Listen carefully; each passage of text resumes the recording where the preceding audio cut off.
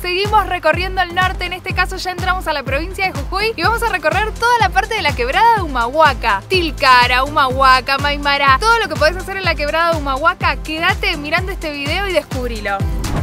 La quebrada de Humahuaca es un extenso valle montañoso de 155 kilómetros de longitud. Abarca diversos pueblos. Entre los más conocidos se encuentran Purmamarca, Tilcara y Humahuaca. En 2003 fue declarada por la UNESCO Patrimonio de la Humanidad en la categoría Paisaje Cultural. Se puede visitar durante todo el año, aunque es mejor evitar los meses de verano ya que hay altas temperaturas y muchas lluvias. Una de las festividades más conocidas es el Carnaval un nuevo día. Hoy vamos a recorrer la quebrada de Humahuaca. Elegimos hacer noche en Tilcara. Para eso elegimos el hostal de altura. La verdad que no nos equivocamos. Es un lugar económico. Lo atienden súper bien. La habitación es muy confortable. Recién terminamos de tomar el desayuno que estaba riquísimo. Y lo mejor, lo mejor de este lugar es la vista. Mirá la vista que hay en este lugar, en este balconcito.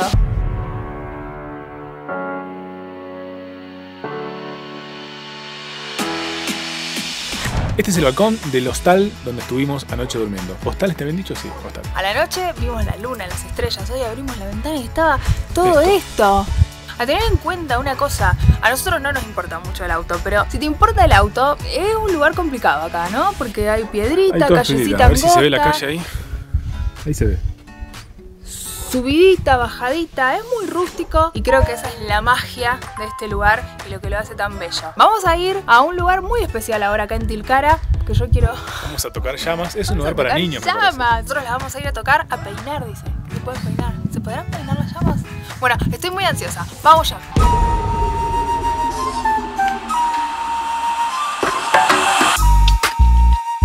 Llama Paco. De entrada, para saber, no le gusta que le toque, no se tienta, no le gusta que le toquen la cara. Claro. Sí, pero sí, cara con cara, sí. Él acepta oh. eso, no, tiene drama. Y su forma de decir hola es, se huele, te huelen a ver qué comiste, cómo respirás, se huele de ahí. Pues se vuelven al traste, los genitales por ahí no llegan a ese punto con ustedes. Pero sí, hablarle llama, sí le pueden tocar el cuello, el, el costado, el hombro.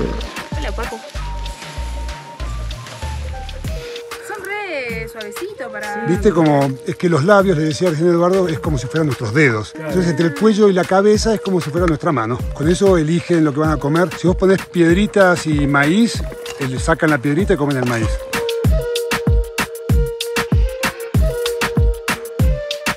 Y vinimos a hacer la caravana de llamas con unos amigos. Él, es Paco. Y él es Yura. Son amigos, son nenes. Mira lo que es. Fue etapa de revista Yura. Bueno, la verdad que una actividad súper, súper recomendable, tanto para grandes, para chicos. Te explican un montón sobre las llamas, sobre la crianza. Es muy interesante. Es muy lindo porque podés interactuar con ellas, podés peinarlas, podés tocarlas, podés alimentarlas. la verdad que me encanta. Muy recomendable.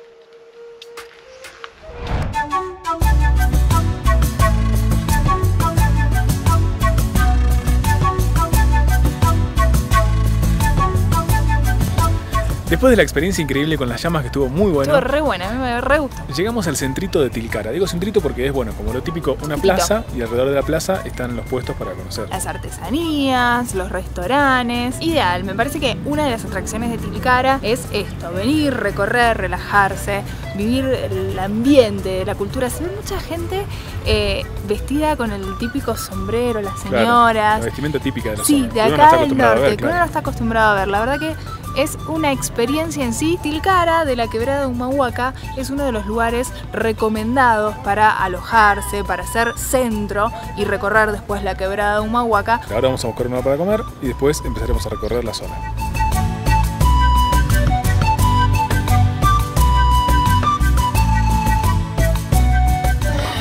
Comer a la paila, vinimos a almorzar.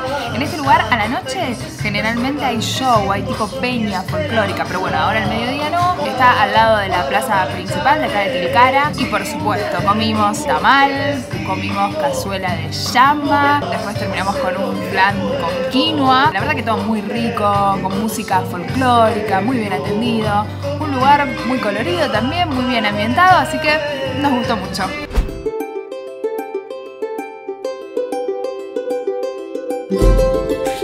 Desde Tilcara retrocedimos un poquito y vinimos a Maimará, que queda unos 10 minutos en auto. Es un pueblito muy chiquitito. Entre sus atractivos turísticos se destaca el cementerio. Sí, el cementerio porque está ubicado acá en la montaña. Arriba del cementerio hay un cartel que dice visite Maimará todo raro.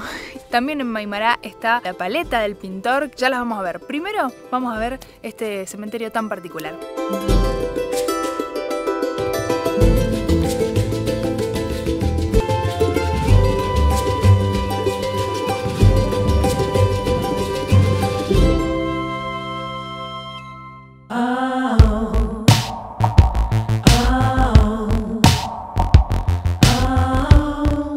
La paleta del pintor es conocida de esa manera por las increíbles tonalidades que tienen sus cerros. En la zona se pueden realizar caminatas sencillas para apreciarla. La mejor hora para hacerlo es por la tarde, donde los rayos del sol resaltan los hermosos colores de este lugar.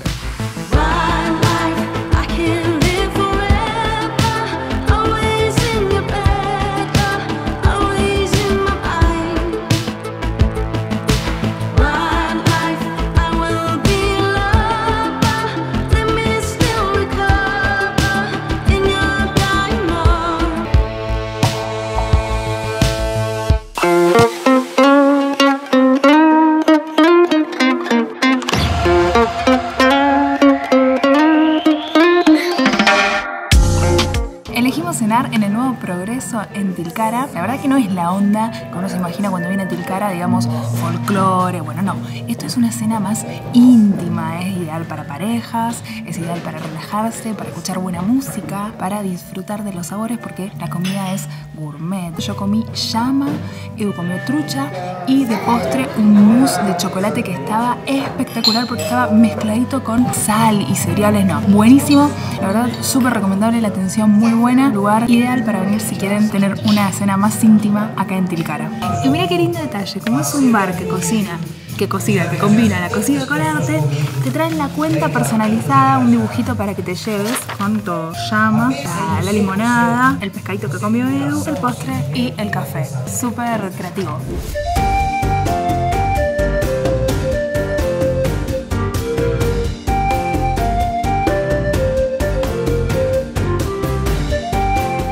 Camino hacia Humahuaca hicimos una breve parada en un pueblito que se llama Huacalera y que tiene como particularidad tener el trópico de Capricornio, el monolito del trópico de Capricornio acá, acá, en el lugar. ¿Qué es el trópico de Capricornio? Bueno, entre el trópico de Capricornio y el trópico de Cáncer es una zona intertropical.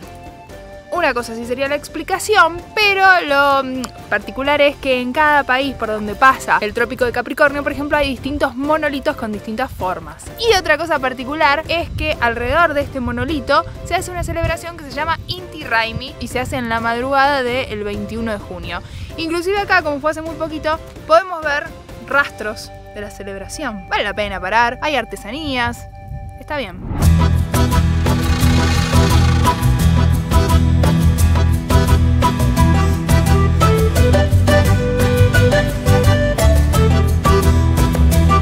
Llegamos a Humahuaca, una de las localidades principales de justamente la quebrada de Humahuaca. Una cosa importante que quería comentarles. Para llegar acá venimos por la ruta 9, pasamos por Tilcar y por otros pueblitos. La ruta 9 en sí es una ruta escénica también. Es para ir eh, disfrutando, tomando mate en familia, se puede ir parando en los pueblitos y fuera de los pueblitos también. Humahuaca es el pueblo más alto de toda la quebrada, son 3.000 metros sobre el nivel del mar. Los oídos se sienten. Se siente, se siente medio raro, sí. Hay chanchos voladores acá encanta la ambientación, me encanta, eh, eh, estamos recorriendo las calles y la primera impresión es esa, eh, la ambientación de las calles, los grafitis, esa onda muy, muy del norte, no sé, del carnaval, me encanta. Todas las paredes como esta, por ejemplo, Yo estoy un poco Muy agitada. pintoresco todo, muy pintoresco todo. ¿Es por la altura o por es la por todo lo que por lo que comimos, por Mucha empanada. Ah, el barbijo no ayuda.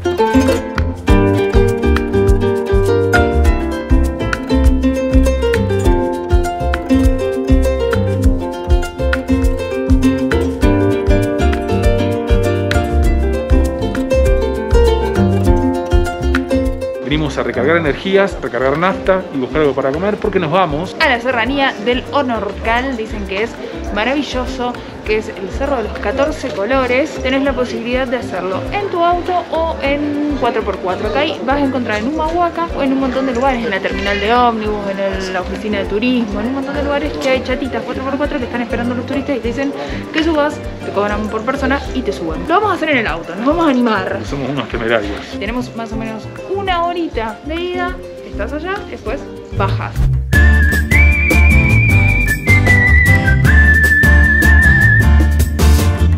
Si están mirando este video y no sos de Argentina y alguna vez te preguntaste cuán futboleros son los argentinos, bueno, te cuento esto. Estamos a 3.700 metros sobre el nivel del mar, sobre el nivel del, del mar, se me lengua la traba a la altura. ¿me La entendés? altura, toda la altura. Estamos a 3.750 metros sobre el nivel del mar, sobre el nivel del mar, y acá atrás hay una cancha de fútbol, hay una cancha de 11, a ver si se ve bien. Una cancha de fútbol, una cancha de 11 acá. ¿Cómo el harías para jugar al fútbol con esta altura? Nosotros caminamos dos metros y ya medio como que nos agitamos. Esto es el argentino y esto es el fútbol y la pasión que sentimos por el fútbol. ¿Dónde estamos entonces? ¿Cómo dónde estamos? Estamos en el camino que lleva a la serranía del Hornocal. Nos faltan unos 15 ¿De kilómetros Hornocal más. o de Hornacal? Hornocal. Hornocal. Hornocal, para mí es Hornocal. Hasta ahora viene bien el camino. Viene bien, viene bien. El ¿Se acuerdan que les comentábamos que lo íbamos a hacer con nuestro propio auto? Bueno, viene bien. En este, justo en este punto donde está la cancha de fútbol para que se ubiquen, empieza la subida de verdad. Apa. Empezamos a subir más, se nota que la, que la calle sube, a ver si se ve.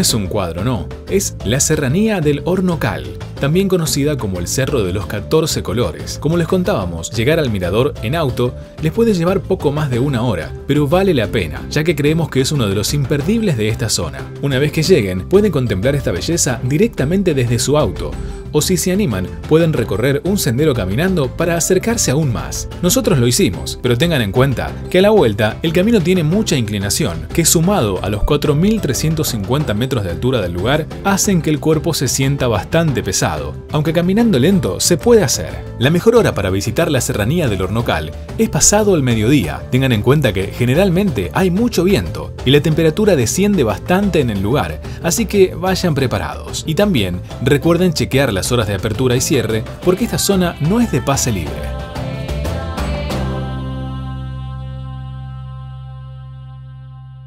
En nuestro paso por Humahuaca decidimos alojarnos en el Hotel Munay. Ya habíamos usado esta cadena en Cafayate. La verdad que nos gustó mucho. Es un hotel económico que tiene desayuno incluido, que tiene calefacción por radiadores, muy importante acá en el norte que a la noche hace bastante frío. Es cómodo, la gente es muy amable. La verdad es que volveríamos si tuviésemos que volver.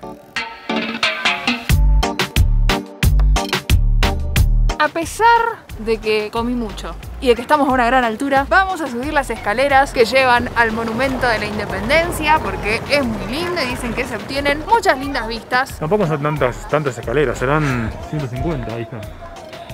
En este momento de mi vida son muchas. Puede ser. Son muchas. Están filmando algo aparentemente. Sí, Hay música y la gente baila al compás. No sabemos si es por el tema de lo que pasa en este momento en el mundo, o por la época del año, o por la hora, pero los puestos que están a nuestras espaldas están cerrados ahora. Que estaría re bueno verlos porque está la placita, los puestos artesanales. Nos dijeron Ah, vamos a hablar y subir.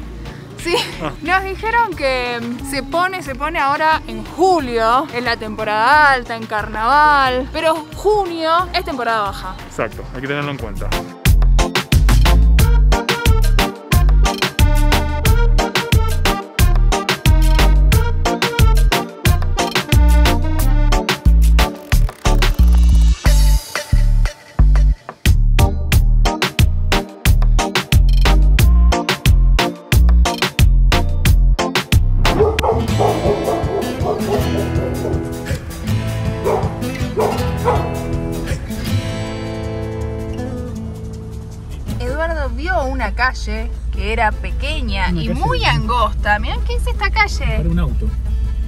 Agarrarla. Yo le dije, no, Eduardo, ¿para qué? Pero quiso agarrarla. Son muy chiquitas las calles creo que esta es la más chiquita que agarramos en Humahuaca. Esto por la calle. Oh, tienen un bebé burro. No, no, no, no, no, no, no, no. Cosas que se ven acá en Humahuaca.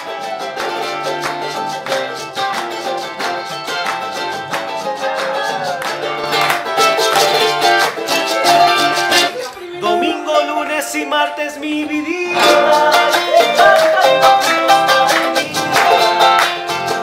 al norte argentino van a ver que en un montón de lugares ofrecen peñas o shows folclóricos o de música autóctona en vivo. Vayan a uno, aunque sea, porque la verdad que el ambiente que se vive es súper de acá. Nosotros elegimos acá en Humahuaca, un lugar que se llama La Puerta Verde y que ofrecían música en vivo. Pues pasan un sobre para que vos pongas tu colaboración. En este lugar se come económico, porciones abundantes, hay comidas autóctonas como llama, tamales, las gomitas. La verdad que muy recomendable vivir una experiencia, ya sea de una peña, de un show en vivo, acá en el norte argentino.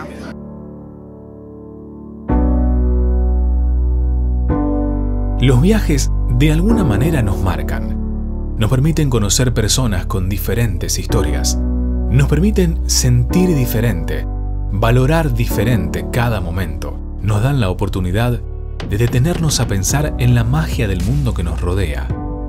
Los colores, los sabores, las sensaciones. Los viajes definitivamente abren nuestra mente.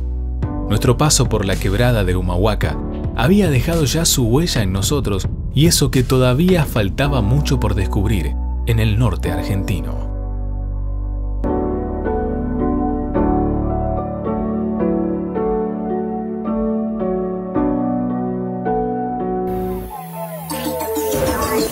En pleno camino de Luyá llegamos al límite entre Jujuy y Salta.